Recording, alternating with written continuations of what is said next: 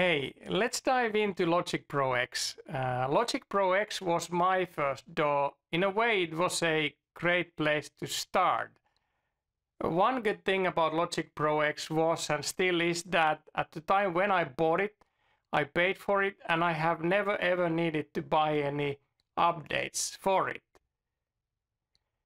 However, Logic Pro X has been updated several times during these years and a lot of great things have been added into it, like grid view and new instruments. What made me to move into Ableton Live was the workflow, but of course, you make your own judgment on what DAW is best for you and your workflow.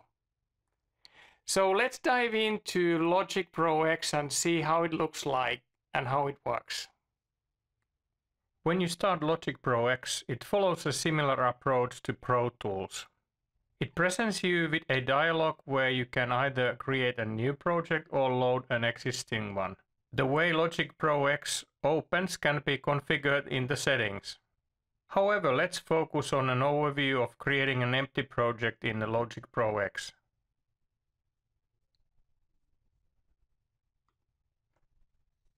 When you create an empty project, the first thing you'll see is the main view and a pop-up that prompts you to select the type of a track you want to create initially.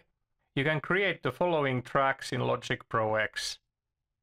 A software instrument track, an audio track, a drummer track, external MIDI track, or guitar or a bass track. Let's start by creating a software instrument track to get started. Now we find ourselves in the main view of Logic Pro X with one instrument track. Let's add an audio track alongside the instrument track.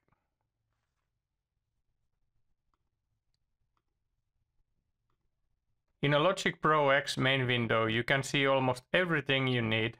Starting from the left you'll notice the library.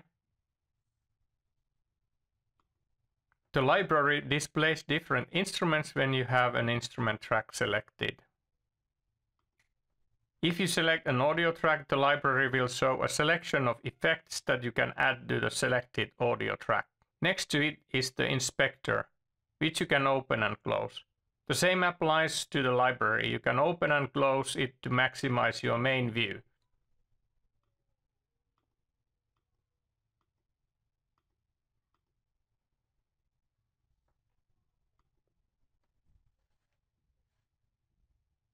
The inspector provides details for the selected track, whether it's an audio track or an instrument track.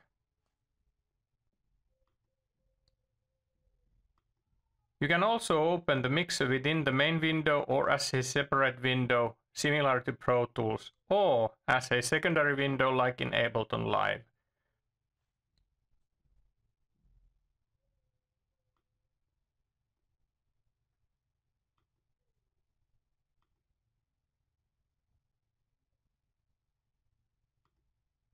For now, let's close the mixer window.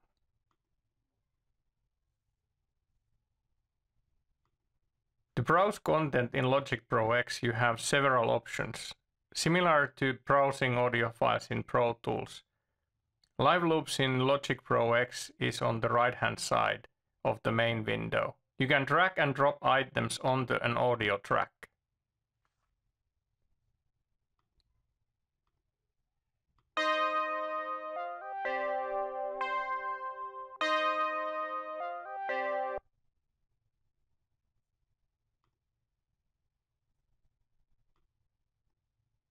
For browsing effects, you can use a pop-up menu, much like Pro Tools.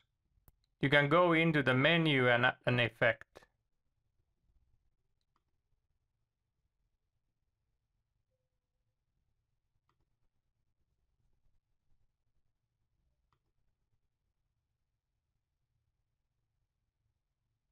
Adding a virtual instrument involves selecting an instrument track. You have two methods for doing this. You can choose the instrument from a pop-up menu similar to Pro Tools or you can explore the library to make your selection.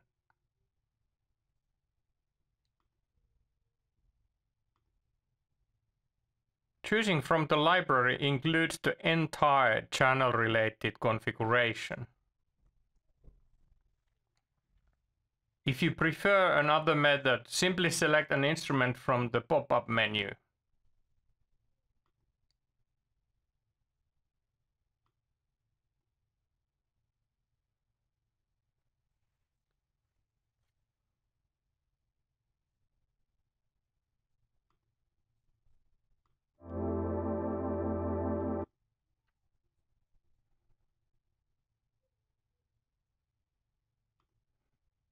For audio editing, you'll primarily use the audio editor accessible by double-clicking the audio section.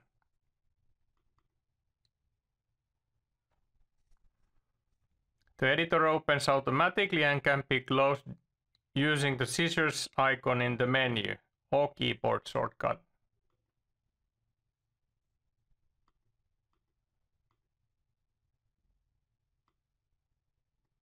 Editing MIDI in Logic Pro X follows a similar process. Double-clicking on the instrument track opens the MIDI editor, where you use the pencil tool to start drawing MIDI notes.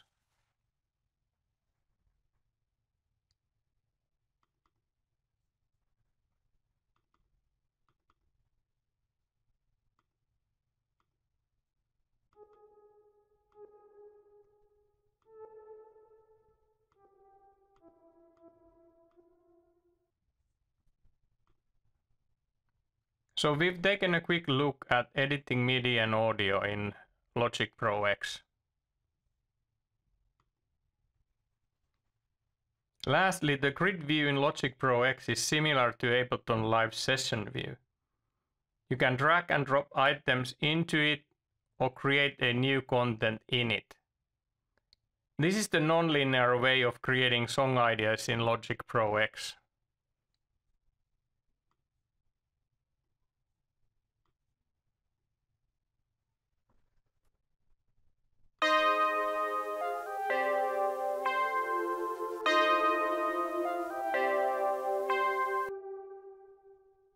In this mode, the linear approach is disabled and the grid takes control.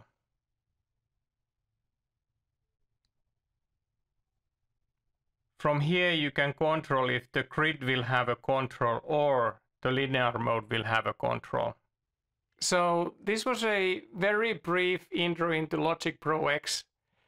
Next we will dive into Studio One, so stay tuned for more. Thanks for watching and uh, remember to subscribe for the channel. Ciao.